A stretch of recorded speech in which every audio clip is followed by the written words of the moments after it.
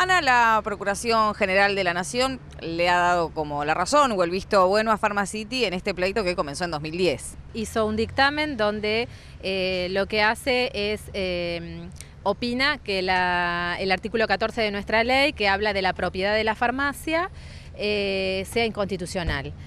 con esto lo que hace es darle la posibilidad a Pharmacity de seguir con este juicio eh, porque es una sociedad anónima y recordemos que nuestra ley prevé que las farmacias deben ser de farmacéuticos, de sociedades de farmacéuticos, de sociedades entre un no farmacéutico y un farmacéutico.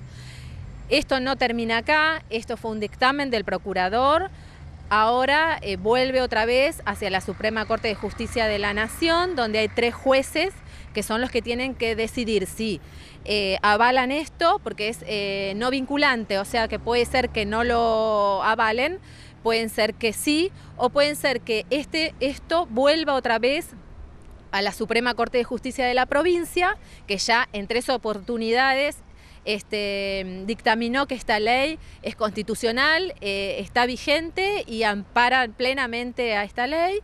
entonces, bueno, tenemos que esperar. Eh, acá, al parecer, eh, fue una decisión más política que jurídica.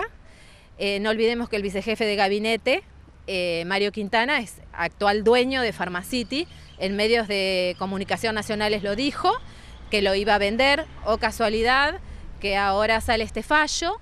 Entonces, bueno, nos preocupa mucho. Nos preocupa porque equipara el modelo sanitario que nosotros tenemos en la provincia de Buenos Aires con un modelo comercial, que es el que tiene Pharmacity. Nosotros estudiamos, nos preparamos, estudiamos cinco años, invertimos, estamos al lado de la gente para cuidar la salud. Eh, dispensamos un antihipertensivo y no podemos estar dispensando papas fritas o gaseosas o golosinas al mismo tiempo. Entonces no, vamos, no estamos de acuerdo con ese modelo de farmacias. Eh, pero bueno, seguimos en la lucha y nosotros eh, tenemos el aval de muchas, mucha gente, tenemos el aval del Defensor del Pueblo de la provincia, los 135 consejos deliberantes de la provincia de Buenos Aires nos apoyan en esta ley y a su vez en el día, la semana del 20-23 de abril va a haber una, en una de las sesiones de la legislatura provincial, el diputado Bonelli presenta un proyecto donde eh, eh, quieren declarar de carácter taxativo los, tres, los dos artículos este, que están en litigio en este momento. Entonces, bueno, va a haber una, una movilización muy grande hacia la legislatura provincial defendiendo esta ley.